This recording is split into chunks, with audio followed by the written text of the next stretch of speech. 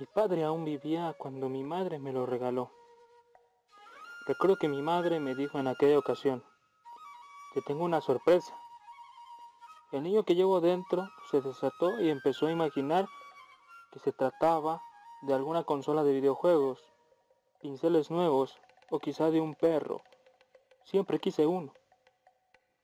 Me hizo cerrar los ojos y al abrirlos, todo emocionado, no vi ninguna consola, ni siquiera guarrás o siquiera un chihuahua, sino un gran tapete con guerreros prehispánicos. Ella, emocionada, me decía, es muy colorido y como eres pintor, pensé que te gustaría.